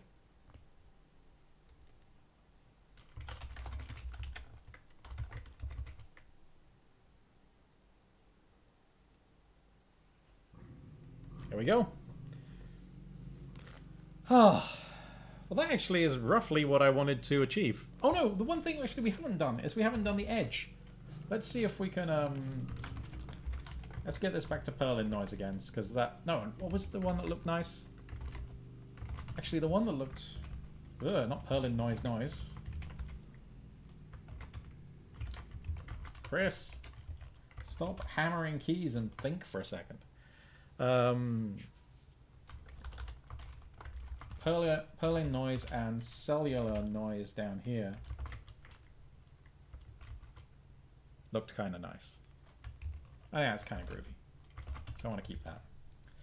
Um, I'll just call it ooh. Zero, zero, zero? Almost. Something like that, though.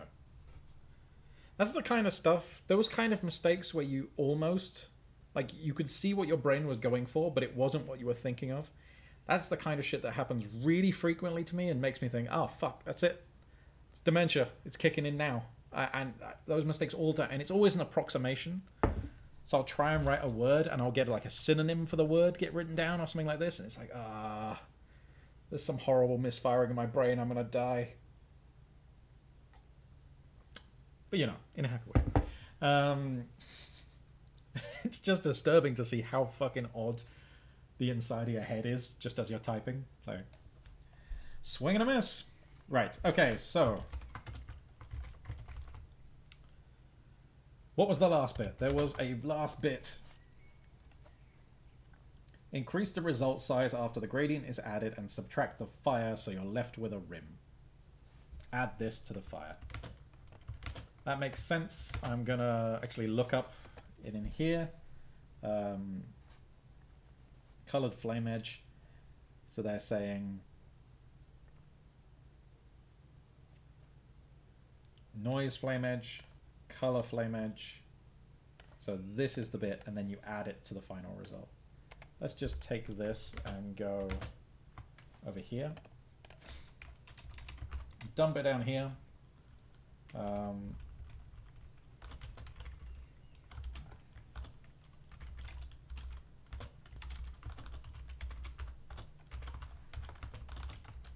Ah.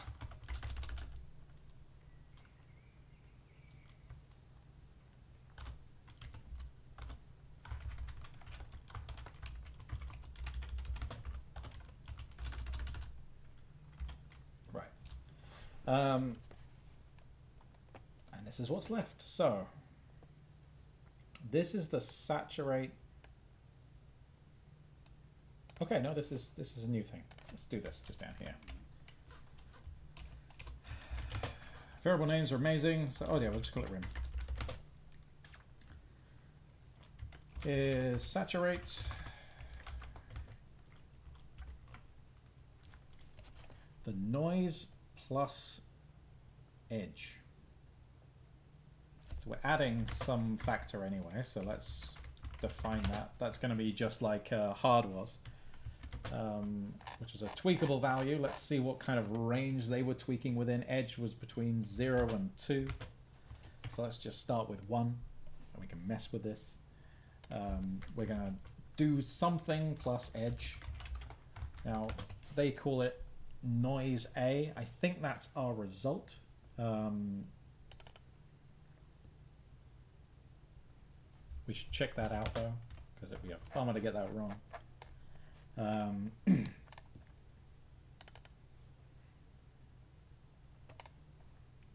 yeah, so what they called result here with the distort and all that kind of stuff is noise here. So this is, so yeah, this is a result. One component of result, which I think is a float in ours anyway. Um, yeah, it's a float anyway.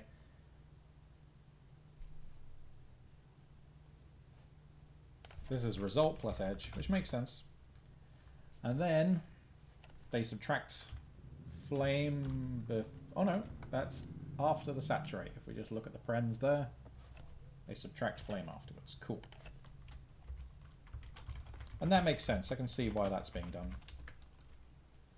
And flame in this case is... Um, oh, that's interesting actually. Is that... Flame is going to be... Is that going to be result times color? This is saturate...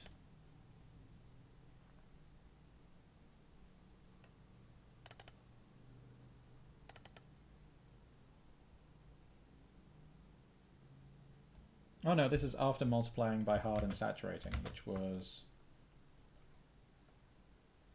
Did I get rid of that? I think I might have. Oh no, there it is. Oh yeah, but we uh, corrected it with a smooth step. Okay, so it's just doing this.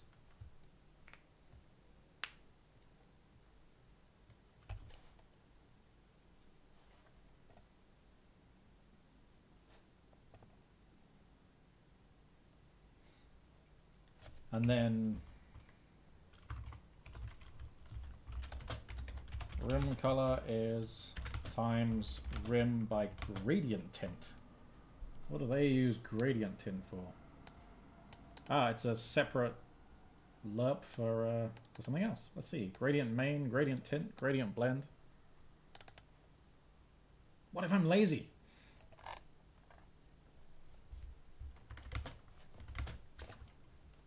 What if I don't want to do that? What if I just use color? Is that going to look terrible? And then I have to add them together?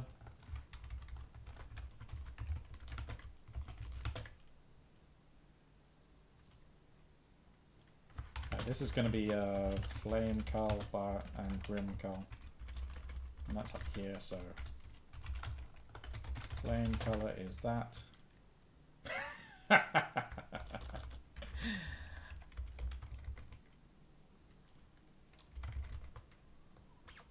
Yeah, well, the color's going to be the same, isn't it? So that's not going to be any good. Um, we are going to need a different...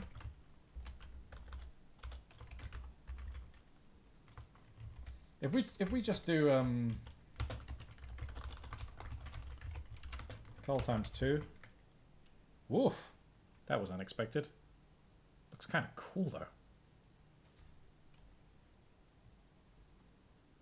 Don't entirely understand what I just did.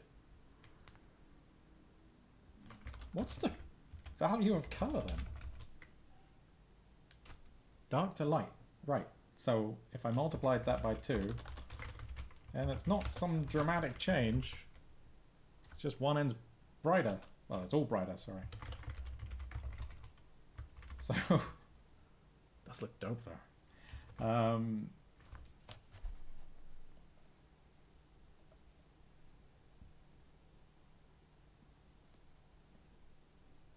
I'm just wondering why this made areas darker. Right?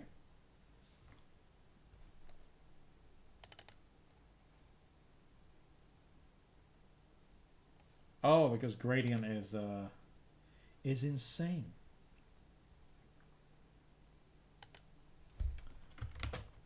How are they mixing their colors? They've probably got it on a more sensible value. Yeah, Oh, who knows though? what values they're using there. So it's, well, I mean, it's UV, so it's probably between 0 and 1 plus some offset. Um, yeah, it's interesting. This does have a lot of like slam. Any place that we can throw a weird value in it, just make it parameterizable, and then we can just play with sliders and stuff. Which, I mean, I can't fault that. I do exactly the same, but it is, uh, it is interesting to look at this and you're looking for the reason for certain things and it might just be because it was cool um,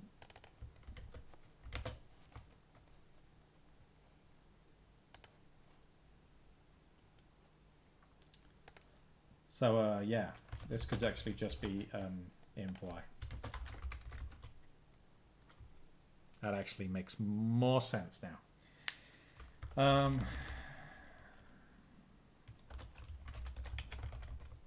And again, we lose. Hold on. That actually doesn't make sense, even with that gradient thing. It would require rim to be okay. Yeah, we're getting uh, we're getting very negative values in a lot of places. It's interesting that the saturate's on the inside. I would actually expect the saturate to be out here. Um, what if we just, rather than putting a sensible color for this, let's just make it red for now. This is to be fucking disgusting, but um, I want to see where it's actually used. Okay, so right now it's used nowhere. Nowhere at all. Um,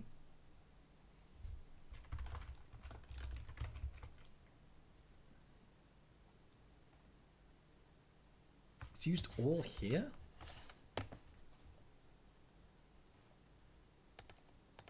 Oh yeah, because... Actually, this is kind of interesting. if everywhere that there is noise, like eh, if the noise value is zero, which then we're going to add something to it, and then we're going to subtract, and we're going to multiply it, so it's now a bigger value. So zero is now, say, one. If the edge is one, this is now one. And then one times 30 in this case, um,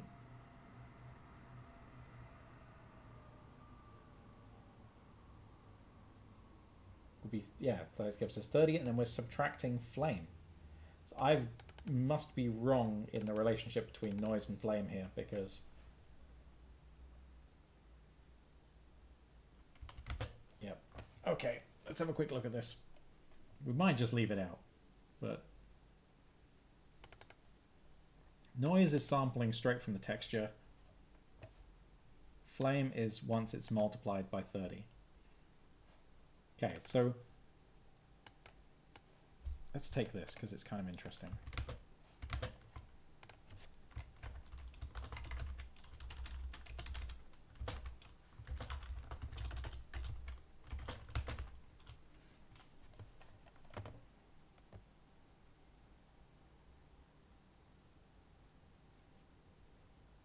So it's a biased version of the noise minus the noise. But in places where the noise is zero, this is just going to give us exactly this, some color. That feels weird, man. That doesn't seem quite right. Unless I'm not understanding how this is combined. They're just added together. Which is what we do.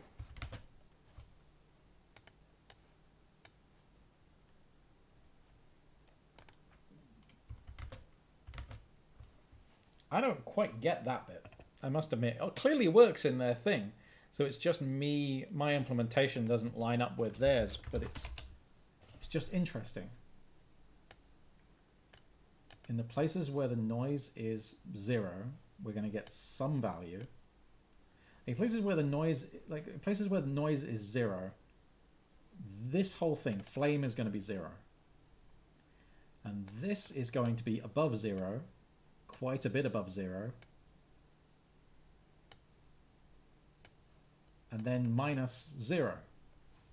So this is going to, everywhere that the noise is zero, this rim is going to be above zero.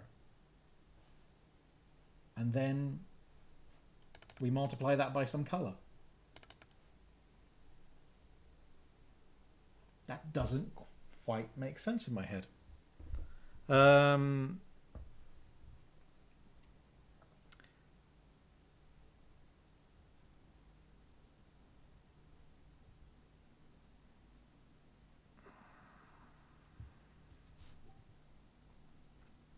Jenny is saying, so I think it's to create the edge you see with different colors. Yeah, definitely. Um, that makes uh, that makes total sense. That's what they were saying here. So this extra rim edge, which is this part here, Um,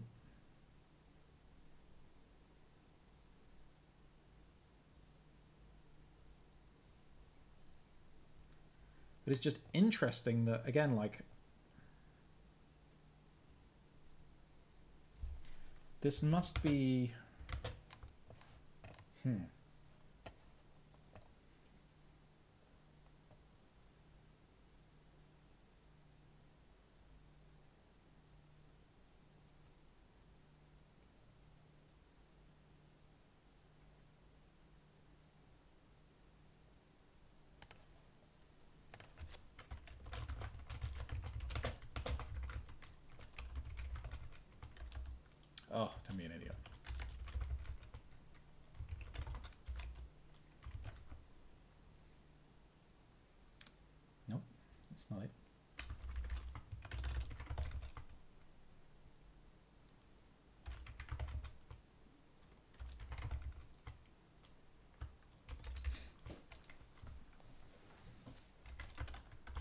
Not get it. I do not. Oh, what have I done? Oh yeah, just got rid of edge. Full of a toque. So, if instead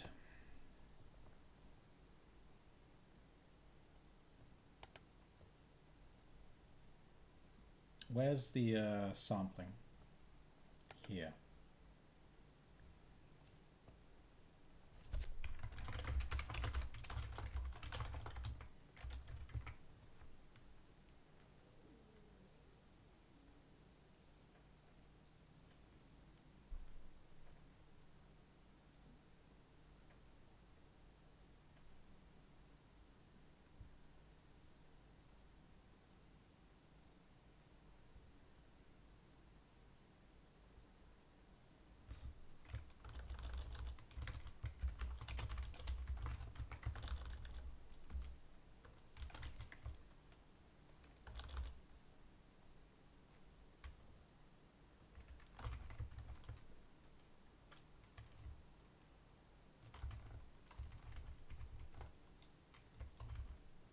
And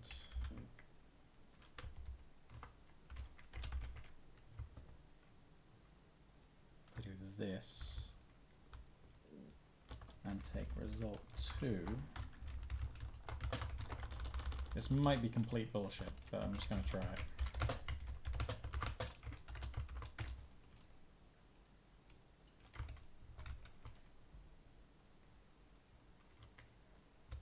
Yeah, that didn't work.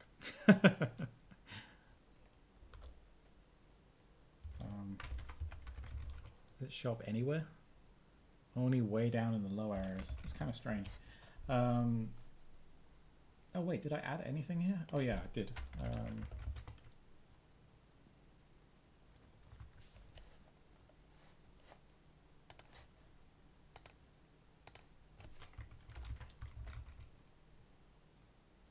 nope. I'm uh.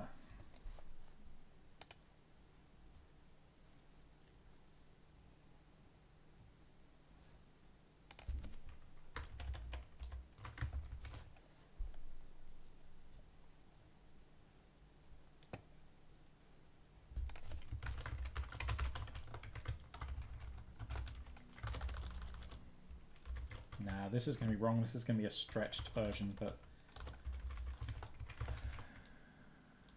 Yeah, and again, I start getting haziness at the top.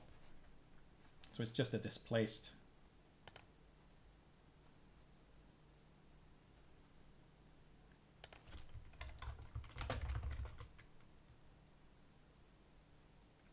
Nah. Nope, that's not going nowhere. Never mind. Right, okay, so... Didn't get the rim bit done just because I didn't work out really what that meant, but I'll probably look at it off stream, and um, I'm sure a bunch of you guys have already worked out what the issue was. So what I'll do for now is I'll just take the rim stuff and comment it out. Same with this. Um, and that gets us back to the thing that was kind of kind of nice before. Um,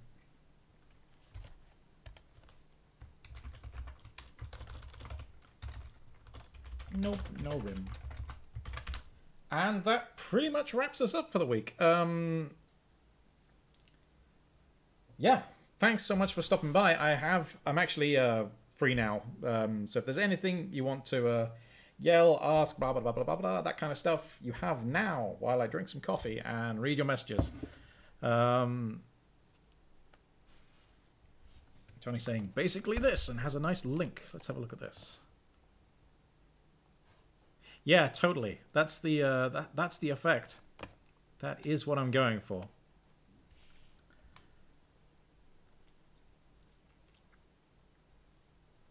And I'm just not not getting it.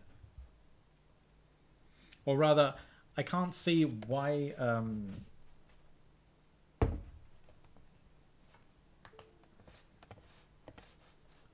just with this stuff i'm just surprised i'm not i'm not surprised to see the the uh the the um, edge being put on all the rest of the um, sphere.